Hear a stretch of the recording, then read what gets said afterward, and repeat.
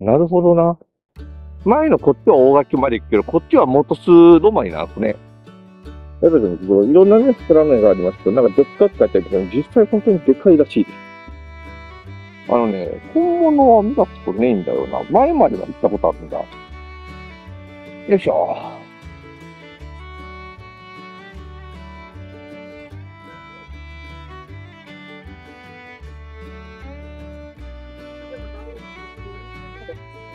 これ駅に多分いっぱい出てきてやってますけど、一応こっから歩いて行けるところにあるらしいんで、まあ、散歩がてら歩いていこうじゃないかと。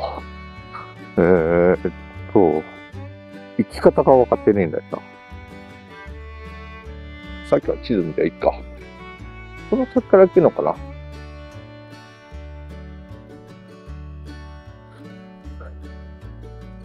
パッと見た感じ、こっちから行けるのかな？へえ。こ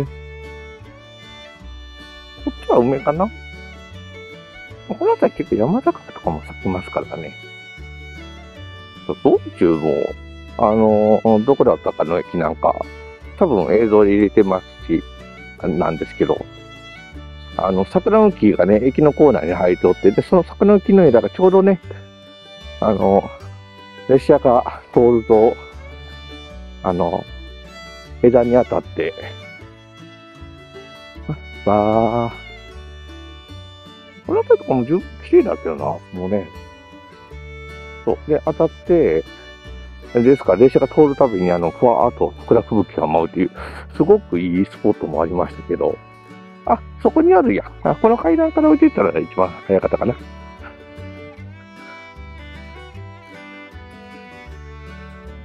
ね、えー、っと、こんな感じか。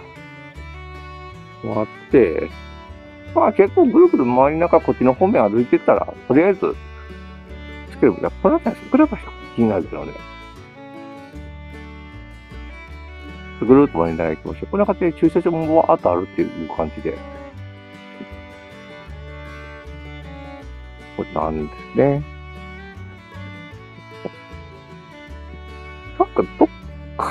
100人てんだよな。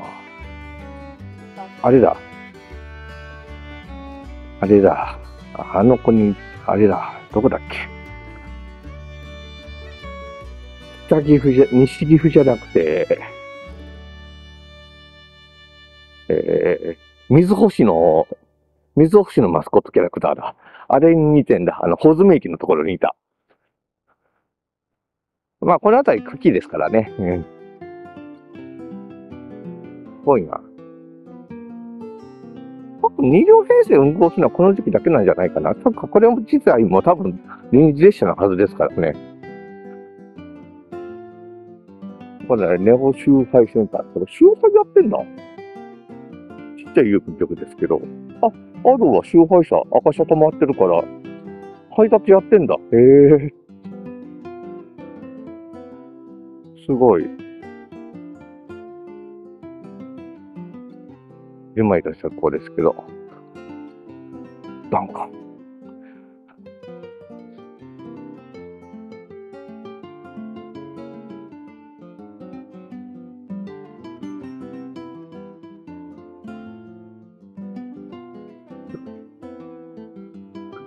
へえー。JA もあるんや。金桜の案内ずっと出てるから、迷わず行けるね。えー、これはもう綺麗になってるわ。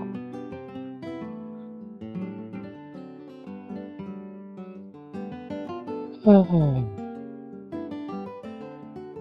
あ。そう、なんで薄墨桜ね、あれか、15年ぐらい前かな。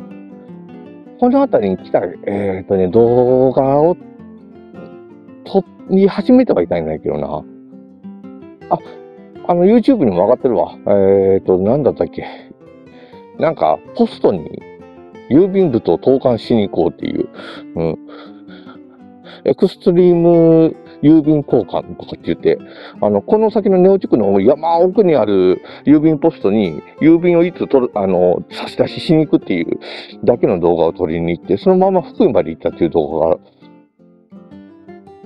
道中のところ、ちょっと動画回したところね、多分 YouTube にも残ってると思うんだけど、もう10、2011年とかそれぐらいの話ですけどね。わあ、綺麗。今日ちょうど水曜もそこそこあるからちょうどいいね。ちょうどいいわ、これ。聞こえますかね？せらぎの音とかもね、入ってますし。あ、いい感じだね。へえ。これ、里ラシなのかな？へえ。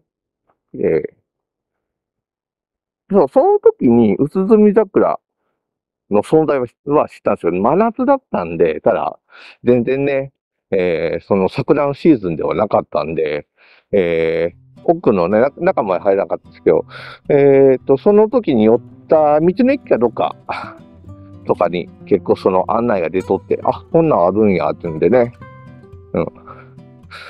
相当すごいよっていう風な噂は聞いてるんで、あれですけど、ちょっと行ってみたいなっていう思いはずっとあったんですけど、なかなかね、タイミングが合わない。こっちの方まで出てくるね、予定が合わなかったんですけど、今日ね、タイミング合わせとったら、本当はね、吉野の千本桜とかもどうかなと思ってたんですよね。うん。あっちもあっちで混むと思うんですけど、吉野っていうか、近鉄でちょっと企画も考えてたんであれだったんですけど、ちょっと、企画のついでに行くにはちょっとね、企画の都合上、あっちの吉野の方とかにあまり寄らないやつだったんで、無理やり寄ろうかなと思ったんですけど、ちょっと、えー、大変になるかなってことで、もうじゃあもう桜だけ見に行くので、あ、そうや、あのちょうどラジオで、薄墨桜が見頃ですよみたいなのが言っとったんで、あ、そうだそうだ、ね。ねじゃあせっかくだったら見に行こうかなっていう感じですね。綺麗だね。その先のとこから渡れるのかな？ゆっくり行こう。まあ、ツーリングにもいいですよね。うんうん。そう、そういうね、ことがあって行きたいな、一回行ってみたいなと思ってたら、なかなかね、その、本当に年に休みと会うタイミングが1、2回とかで、それがね、うまいこと合うかどうかなんで、えー、なんだ昨日もちょっと予定がね、入ったんで、えー、行けなかったんで、土曜日に行っとこうかなと思ったら、行けなかったです。日曜日の天気いいってことなんで、もう行っちゃおうかと。うん。